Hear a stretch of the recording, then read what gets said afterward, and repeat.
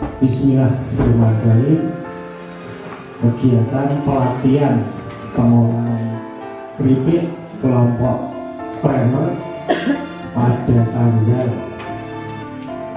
25 November tahun 2022 saya nyatakan dibuka.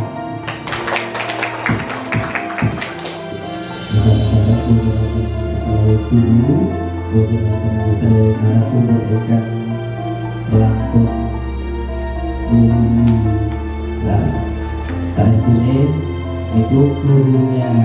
kita adalah kita sendiri saya akan menyampaikan eh, pelatihan olahan aneka keripik dan sare. Eh, cuma di sini tidak ada tidak ada guru tidak ada murid ibu. Jadi nanti kita eh, belajar bareng-bareng